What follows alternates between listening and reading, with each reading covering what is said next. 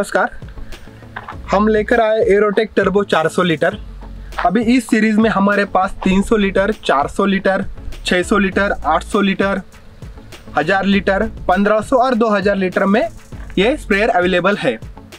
ये जो स्प्रेयर है, हमें अंगूर में, उसके बाद अनार में, आम में और संतरा में काम करते हैं। ये अभी जो आप यूनिट देख रहे हो ये एरोटेक 400 लीटर 24 इंच वाला ये मॉडल है। इसमें सिंगल फ़ैन डबल फ़ैन दोनों मॉडल आ जाते हैं। उसके बाद अगर आपको ये 22 इंच में भी चाहिए होगा तो भी वो मिल जाता है। एरोटेक टर्बो 400 लीटर, ये जो मॉडल है 550 मतलब 22 इंच का जो फ़ैन है, ये आपका 20 एचपी और अबो ट्रैक्टर के ऊपर चलेगा। अगर इसमें आपका 616 mm का फ़ैन है मतलब 24 इंच का फ़ैन है तो इसके लिए आपको 22 एच और उसके ऊपर वाले ट्रैक्टर की ज़रूरत पड़ेगी। और ये जो मॉडल है, सारा अपना पीटीओ जो होता है 540 आरपीएम के ऊपर चलेगा। अभी हम बात करेंगे ट्रैक्टर के इंजन रेटेड आरपीएम की। तो हर एक ट्रैक्टर के जो इंजन रेटेड आरपीएम होते हैं, वो अलग अलग होते हैं। हमारा जो स्प्रेयर है, इसके लिए 540 आरपीएम की ज़रूरत होती है। लेकिन बहुत सारे ट्रैक्टर ऐसे कि वो 540 आरपीएम के लिए इंजन रेटेड आरपीएम अलग अलग होते हैं। तो हमें मिनिमम जो चाहिए होते हैं 400 से लेके साढ़े चार तक आरपीएम चाहिए होते हैं पीटीओ के। तो उसके लिए जो अभी मैं एक आपको एग्जांपल देता हूँ, ये जो महिंद्रा का ट्रैक्टर है जियो इसमें आप देख सकते हो कि यहाँ पे 2000 आरपीएम पे ट्रैक्टर के 540 पीटीओ आरपीएम दिए हुए। लेकिन हमें ज़रूरत कम होती है। इसके लिए अगर आपने 1500 या 1600 आरपीएम इसके रखे, ट्रैक्टर के तो आपको पीछे जो है साढ़े चार सौ आरपीएम मिल जाते हैं। उसी हिसाब में मार्केट में बहुत सारे अलग अलग ट्रैक्टर है कुबोटा ट्रैक्टर्स है जॉन्डियर ट्रैक्टर्स है, उसके बाद पावर ट्रैक्स है फार्म ट्रैक्स है स्वराज ट्रैक्टर्स है। तो हर एक ट्रैक्टर के जो इंजन रेटेड आरपीएम होते हैं, वो अलग अलग होते हैं।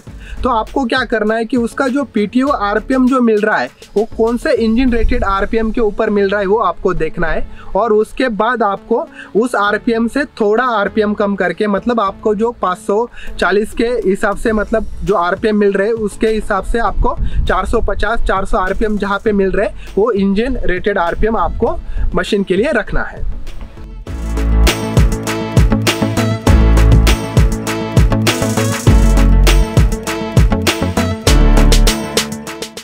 आप यहाँ पे देख पा रहे हो कि ये जो अटैचमेंट है आगे की, ये महिंद्रा जियो की है, इस तरह से आपको यहाँ पे वो अटैच करनी है। अभी आप यहाँ पे देख रहे हो कि ये जियो की जो अटैचमेंट है, हमने इस होल को इस तरह से मैच किया है। मैच करने के बाद आपको ये जो पिन दिख रही है, ये इसमें इंसर्ट करके इसको लॉक करना है। इस स्प्रेयर में हमने थ्री एक्सिस टोबार दिया है। आप यहाँ पे देख सकते हो कि ये थ्री एक्सिस टोबार है। ये जो थ्री एक्सिस टोबार है, इसमें ये जो अटैचमेंट दी है, ये ट्रैक्टर साइड में लगती है। ये अभी महिंद्रा जियो ट्रैक्टर है, इसलिए हमने ये अटैचमेंट दी है। अगर ये मॉडल चेंज हो जाएँगे या फिर ट्रैक्टर चेंज हो जाएँगे तो ये अटैचमेंट चेंज हो जाती है। इसमें जो है थ्री टाइप्स की मूवमेंट होती है। ये यहाँ पे एक मूवमेंट करता है, यहाँ पे एक मूवमेंट करता है और यहाँ पे एक मूवमेंट करता है। जो जो वाला है, ये इस तरह से मूवमेंट करेगा, ये वाला ऊपर नीचे मूवमेंट करेगा और ये जो पीछे वाला ये मशीन को टर्न के लिए यूज़ होता है। यहाँ पे अभी आप देख रहे हो कि हमने दोनों साइड के पीटीओ लगा लिए। पीटीओ लगाने के बाद दोनों ओवरलैप करने के बाद हमें दिख रहा है कि 30 टू 40 एम mm जो लेंथ है, उसकी वो थोड़ी ज़्यादा है। तो उसको हमें कटर से कट करना है और फिर इसको प्रॉपर वे से फिट करना है। ये जो आप देख रहे हो, ये वाइड एंगल पीटीओ शाफ्ट है। इसका जो बड़ा एंड होता है, वो मशीन के साइड में हमें अटैच करना है। अभी देख सकते हो आप कि किस तरह से इसको हम अटैच कर रहे हैं। और हमें ये भी इंश्योर करना है कि इसका जो लॉक है, अभी देखिए ये लॉक प्रॉपर तरह से फिट हो गया है। इस तरह से हमें लॉकिंग करना है। अभी जो पीटीओ का दूसरा एंड है, छोटा वाला, वो ट्रैक्टर के साइड में हमें अटैच करना है। और लॉकिंग सिस्टम भी आप देख सकते हो कि जब भी ये नीचे रहेगा तो ये लॉक नहीं रहेगा, लेकिन जैसे ऊपर आ जाएगा तो ये परफेक्टली लॉक हो जाता है इसमें। तो अभी आप देख रहे हो कि ये पूरा जो है, ये वाइड एंगल पीटीओ शाफ्ट है। इसमें जो बड़ा एंड होता है, वो मशीन के साइड से अटैच होता है और छोटा एंड जो होता है, वो ट्रैक्टर के साइड से अटैच होता है। इसके बाद ट्रैक्टर की जो पोजीशन होती है, उसके हिसाब से इसकी जो लेंथ होती है, वो कम ज़्यादा होती है। तो हमें इसको भी कट करना है, हमारे ट्रैक्टर के हिसाब से। उसके बाद ये ऊपर वाला कवर ना घूमे, इसके लिए हमें इसको चेक चेन दिया है, उसको इस हिसाब से आपको अटैच करना है। उसके बाद ये जो वाइड एंगल पीटीओ शाफ्ट होता है, इसका फ़ंक्शन जो होता है, ये 90 डिग्री में टर्न होता है। तो आपकी जहाँ पे भी टर्निंग की ज़रूरत है तो यहाँ पे बिना पीटीओ रुकाए आप इसको टर्न कर सकते हो। अभी हम जो 400 लीटर लेके आए, इसके स्पेयर पार्ट जो है या जो पार्ट है, उनके क्या क्या फ़ंक्शन होते हैं, इसके बारे में हम जानकारी लेंगे। इस स्प्रेयर में 400 लीटर कैपेसिटी की टैंक हमने दी है। ये एच मतलब हाई डेंसिटी पॉलीथिल मटेरियल से बनाई गई है। इसका जो क्लाइमेटिक फैक्टर है, इसके साथ कोई अफेक्ट नहीं होता। उसके बाद इसमें जो भी हम एसिडिक टाइप के केमिकल डालते हैं, उसका भी इसके साथ कोई रिएक्शन नहीं होता। तो ये जो टैंक है सालों साल ऐसे ही रहती है। एरोटेक 400 लीटर में हमने 22 इंच फ़ैन के लिए 55 एलपीएम का डायफ्राम पंप दिया है। उसके बाद 24 इंच के लिए हमने 75 एलपीएम का डायफ्राम पंप दिया है। ये जो डायफ्राम पंप होता है, इसमें मूविंग पार्ट कम होने की वजह से इसमें मेंटेनेंस जो होता है वो बहुत कम निकलता है। इसके बाद हमने 40 बार के ऊपर ओपन होने वाला सेफ्टी रिलीफ वॉल इसमें दिया हुआ है। तो सेफ्टी रिलीफ वॉल क्या होता है कि पंप में जैसे 40 बार के ऊपर प्रेशर बढ़ जाता है तो ये ऑटोमेटिकली ओपन हो जाता है। उससे आप में पंप में कोई डैमेज होता नहीं है। इसमें हमने रबर कपलिंग दी हुई है। रबर कपलिंग जो है ट्रैक्टर की तरफ़ से जो भी जर्क्स या शॉक्स आएँगे, उसको एब्जॉर्ब करने का काम है रबर कपलिंग करती है। उससे आपकी जो मेन असेंबली जैसे पंप गेयर बॉक्स ये शॉक फ्री रहता है।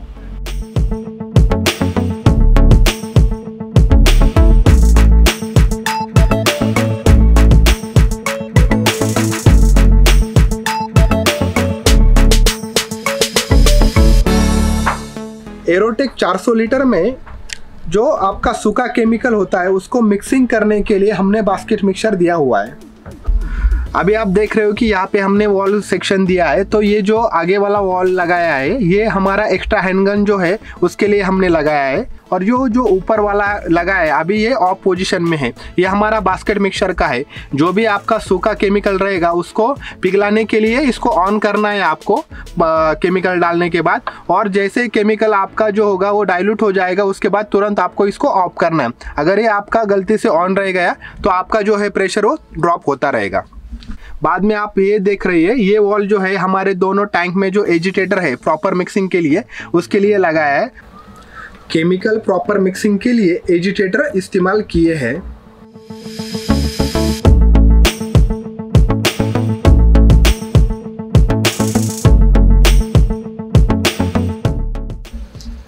चार सौ लीटर में हमने पानी ड्रेन करने के लिए ड्रेन वॉल दिया हुआ है।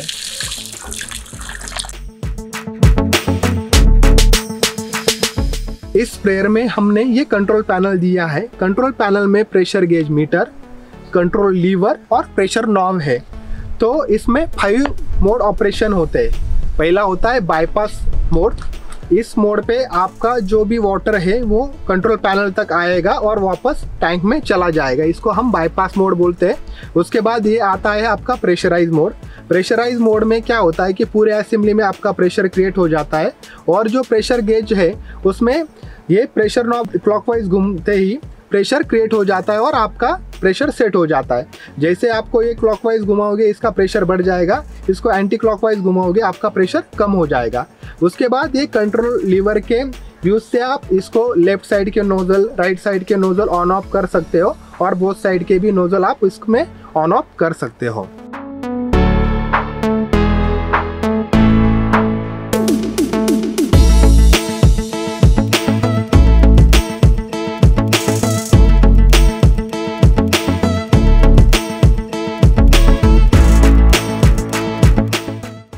अभी हम बात करेंगे एयर कन्वेयर सिस्टम के बारे में। तो ये जो फ़ैन है, ये रिवर्स ट्रेन टेक्नोलॉजी का फ़ैन है। मतलब ये आगे से यहाँ से हवा खींचेगा। हवा खींचने के बाद हमने इसमें गेयर बॉक्स दिया है।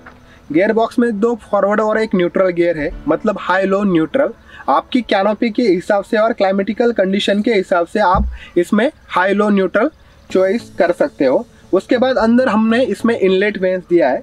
इनलेट वेंस क्या करता है? जो भी एयर आउटपुट होती है उसको एक सरीका खींचने का काम इनलेट वेंस करता है। इनलेट वेंस के बाद हमने मेन फ़ैन डाला है। मेन फ़ैन में क्या होता है कि फ़ैन घूमता है। घूमने के बाद आपकी जो एयर है, ये पीछे आ जाती है। जैसे आपकी एयर पीछे डिलीवर होती है, यहाँ पे हमने काउंटर फिन्स डाले हैं। काउंटर फिन्स का काम क्या होता है? लेफ़्ट और राइट की एयर इक्वल करने का काम काउंटर फिन्स यहाँ पे करते हैं। उसके बाद आप जो पीछे देख रहे हो, पीछे हमने ये रिकवरी प्लेट दी हुई है। रिकवरी प्लेट का काम क्या है कि जैसे फ़ैन 360 डिग्री में घूमता है, नीचे वाला पोर्शन हमारा बंद रहता है। तो वहाँ से हवा जो होती है, यहाँ से हवा वेस्टेज हो जाती है। उसको यूटिलाइज करने के लिए हमने ये रिकवरी प्लेट डाली है। अंदर एक चेम्बर है चेम्बर से हमने हवा यहाँ पे निकाली है और ऊपर लेके गए। इसलिए को बोलते हैं रिकवरी प्लेट ये एरोटेक 400 लीटर में 550 मतलब 22 इंच और 616 मतलब 24 इंच, इसमें सिंगल फ़ैन और डबल फ़ैन आते हैं। तो अभी आप यहाँ पे देख रहे हो, ये सिंगल फ़ैन स्प्रेयर है। डबल फ़ैन मशीन में थोड़ा चेंजेस होता है, इसमें इनलेट फेंस रिकवरी प्लेट और काउंटर फेंस ये निकल जाते हैं और उसकी जगह पे दो फ़ैन होते हैं। एक फ़ैन जो घूमता है, वो क्लॉकवाइज घूमता है और दूसरा जो फ़ैन होता है, वो एंटी क्लॉकवाइज घूमता है। इससे क्या होता है लेफ़्ट और राइट का जो एयर इक्वल बैलेंस है, वो बना रहता है। अभी हम बात करेंगे नोज़ल के ऊपर, जो 22 इंच का फ़ैन साइज़ होता है, उसमें 10 नोज़ल आते हैं और 24 इंच फ़ैन साइज़ में हमारे 12 नोज़ल आते हैं। तो आप यहाँ पे देख सकते हो कि एक साइड में अभी जो नोज़ल दिया है हमने 1.0 डिस्क का दिया है, ये रेगुलर स्प्रे के लिए हमें यूज़ करना है। उसके बाद दूसरे साइड में हमने जो दिया है वो ए टी आर सिक्सटी का नोज़ल दिया है। तो ये जो नोज़ल है, हमें डिपिंग या फिर पीजार पर्पज़ के लिए हमें यूज़ करना है। इसमें से 100 लीटर से लेके 150 लीटर पर एकड़ आपका वाटर वॉल्यूम स्प्रे हो सकता है। इसके बाद जैसे आप इस नोज़ल को ऐसा करोगे तो ये नोज़ल ऑफ़ हो जाएगा। अभी हमारे एरिया में दो टाइप का प्लांटेशन होता है। उसमें वाई शेप प्लांटेशन होता है और मंडप शेप प्लांटेशन होता है। तो आपके कैनोपी और प्लांटेशन के हिसाब से आपको ये नोजल का जो डायरेक्शन है, आपको रखना है।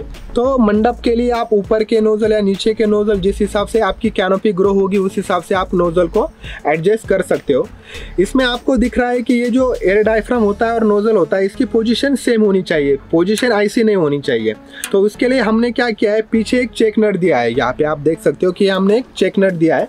ये इस चेक नट को आपको लूज करना है और आपके हिसाब से नोजल को इस हिसाब से या फिर आपको जिस भी डायरेक्शन में चाहिए, उस हिसाब से आप इसको एडजस्ट कर सकते हो।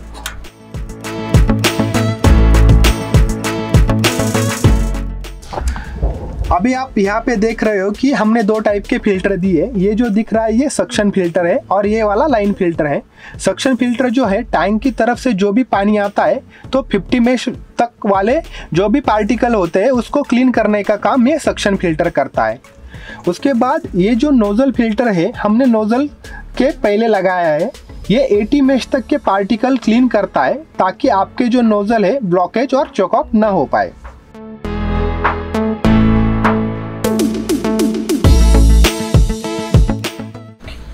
एरोटेक 400 लीटर में हमने three way adjustable tubeless tyre दिए हुए हैं।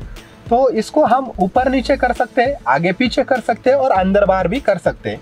ये जो टायर साइज़ है, इसमें आपको बड़ी टायर साइज़ भी मिलती है, वो ऑप्शनल है। उसके बाद हमने पीछे स्क्रैपर दिए हुए। आपका जो भी सॉइल टाइप रहेगा, उसके हिसाब से आप इसको एडजस्ट कर सकते हो। ये ऑटोमेटिकली आपका कीचड़ निकलता रहेगा। तो वाटर ट्यूब लेवल जो है टैंक में कितना पानी भरा है या फिर कितना पानी बचा है, ये देखने के लिए हमने यहाँ पे वाटर ट्यूब लेवल दी है।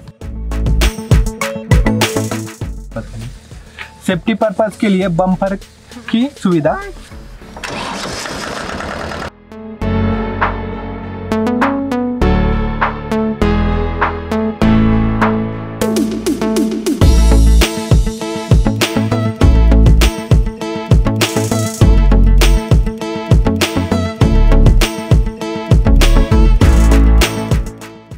दोस्तों, अगर आपको ये वीडियो पसंद आया होगा तो इसे लाइक ज़रूर कीजिए कमेंट कीजिए शेयर कीजिए।